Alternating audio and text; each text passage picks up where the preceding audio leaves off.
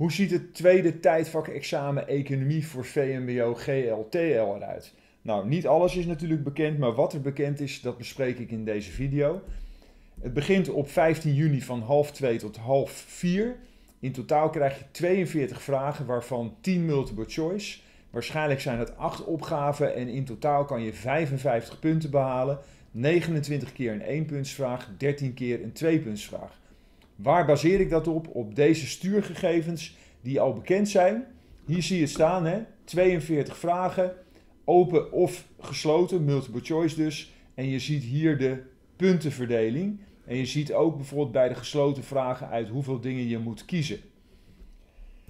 Verder heb ik voor je om je goed voor te bereiden 10 tips op een rij gezet die je kunnen helpen bij het uh, economie-examen. Onder andere hoe beantwoord je zo goed mogelijk een multiple choice vraag.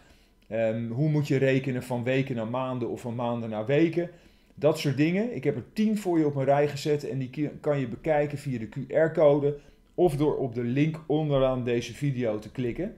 En verder heb ik speciaal voor jou een online examentraining gemaakt die je kan gebruiken of je nu 3 of 30 uur wil leren voor je examen in het tweede tijdvak. Er zitten uitlegvideo's in, er zitten videosamenvattingen in per examendomein. Oefenexamens, waaronder ook het examen van dit jaar, het eerste tijdvak. En ik bespreek dat ook na. Dus ik bespreek in video na hoe je dat eerste tijdvak examen uh, zou moeten maken en uh, wat de juiste antwoorden zijn en hoe je daar natuurlijk vooral op komt. Verder krijg je antwoord op al je vragen en als je dat nu bestelt met kortingscode tijdvak 2 dan krijg je 5 euro korting. En dat kan je doen op de website www.economie-academy.nl